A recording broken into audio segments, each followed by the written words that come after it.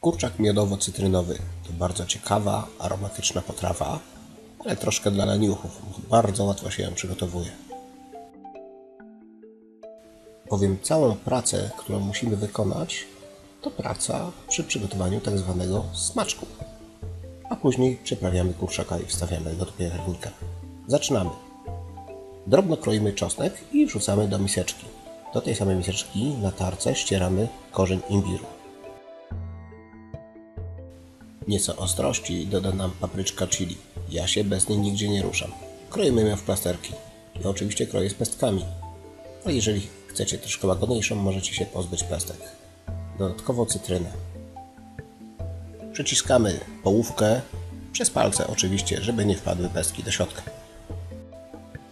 Aha, zapomniałem wcześniej powiedzieć. Koniecznie odwiedzajcie często naszą stronę www.kulinarnatv.pl. Jest tam mnóstwo ciekawych przepisów. A kurczak miodowo-cytrynowy. Cytryna jest, teraz miód. Dodajemy około dwóch łyżeczek miodu.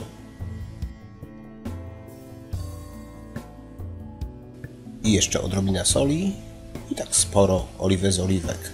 I ten nasz smaczek dokładnie mieszamy, żeby te wszystkie smaki zespoliły się w jeden ciekawy, mocny smak. No to mamy prawie gotowe. Czas na kurczaka. Ja kroję tego delikwenta na mniejsze kawałki. Biorę łódkę i przekrawiam na pałki i podłudzie. A jak komuś się nie chce tego robić, to przecież nie trzeba. Można użyć całych łódek.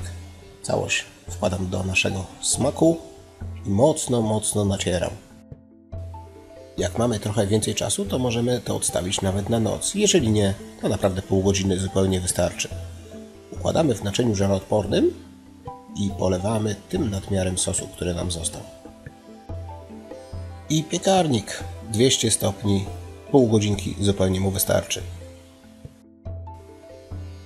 Po tym czasie wyciągamy z piekarnika i przekładamy nasze piękności na talerz.